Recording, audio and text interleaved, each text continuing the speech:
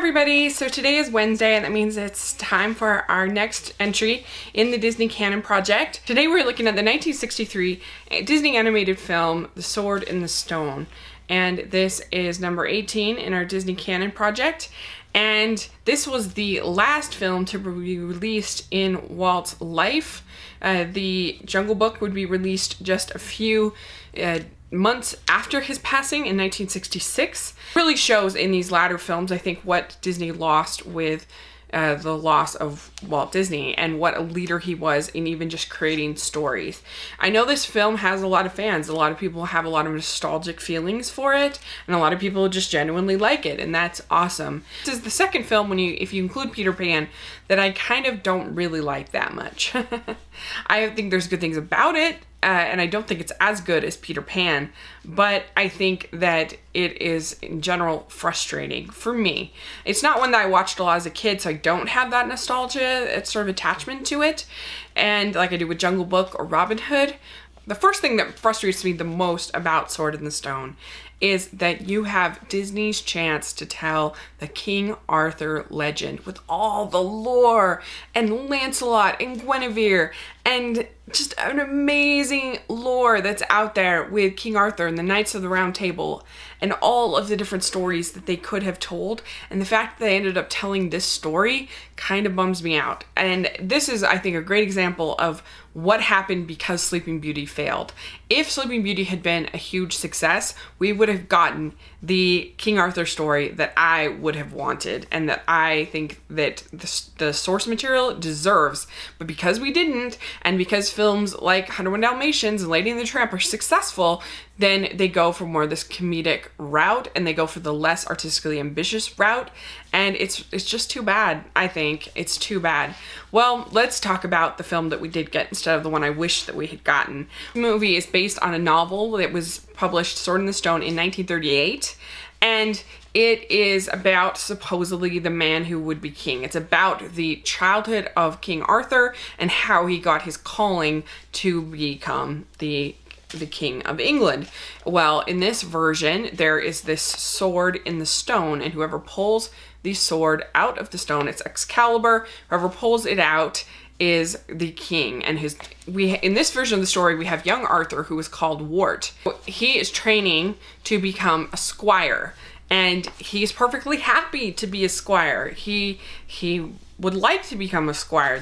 And so this movie basically you have to go with the fact that becoming book educated and becoming uh, a, smart in that sense is inherently better than him becoming a squire. That's pounded into the ground education is great. And I'm not to say education isn't great, but they do a lot of talking about how education is great in this movie and not really showing how the education is useful. Wizard Merlin ends up meeting Arthur Wart and he decides to take on he feels something for this boy and he decides to become Arthur's tutor and to train him in all that is needed to to become the be the one worthy to pull the sword from the stone. The rest of the movie is basically Merlin giving Arthur a series of lessons, and there are three main lessons that he gets. And then you also get little sort of interruptions where his sort of foster father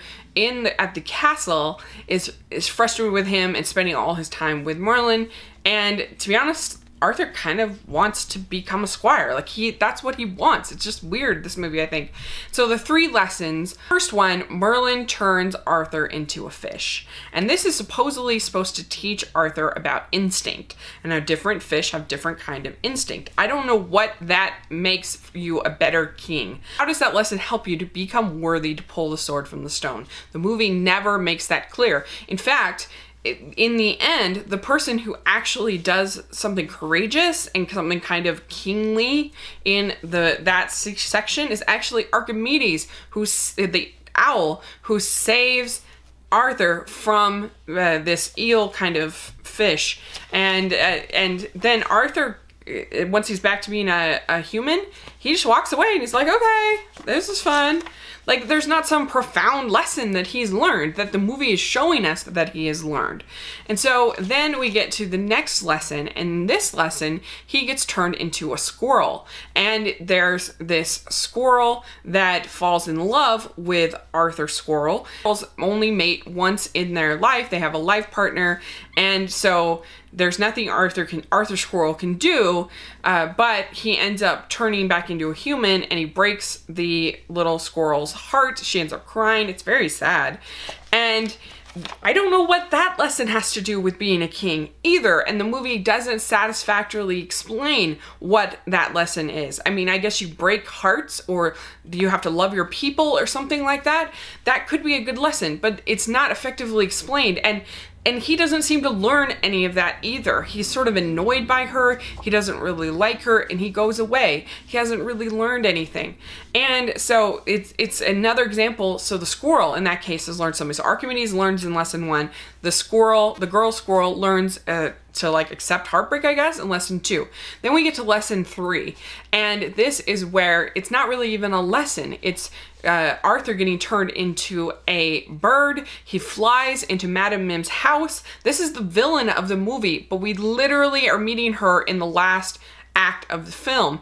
And th- this again is another example of Arthur just as a spectator in this lesson. So it ends up being this wizard's duel between Merlin and Madame Mim because they both think they're the greatest wizards in all the world.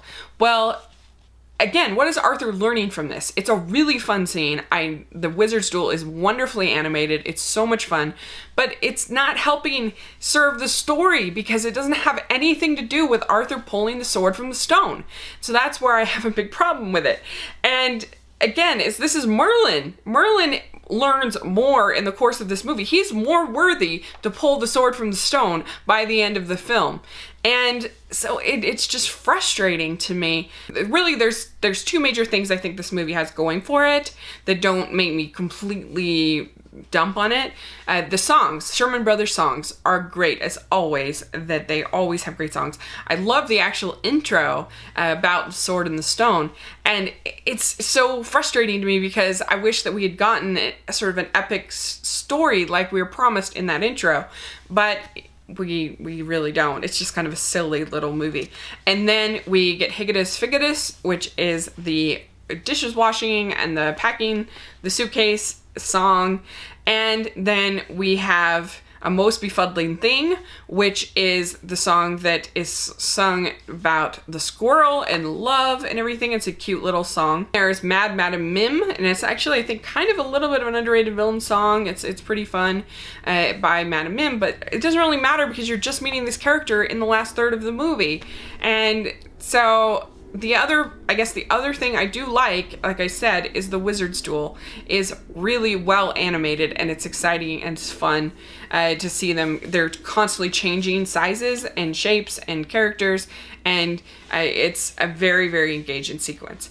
Well the that's not enough to me to recommend the film. It really isn't. I, I don't think the vocal performances are very good in the movie. The the actor that they got to play Arthur, he his voice changed while they were filming because it took a while to make the movie, and it, you can tell. The rest are are fine. There's nothing special about the voice cast here, and I think that it actually is kind of ugly. I don't particularly care for it. At least it's the sketch era, and it's very blue and gray, and it, there's just no sort of bright colors. There's nothing to sort of interest me personally artistically about it.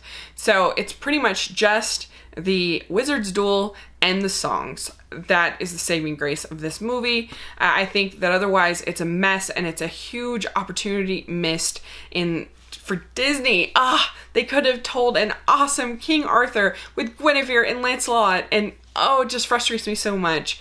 And so I don't really like this movie that much, uh, but for those few parts that I think are good, I'll give Sword in the Stone a C. Uh, so yeah, let me know what you think. Is it one that you grew up with that you really like?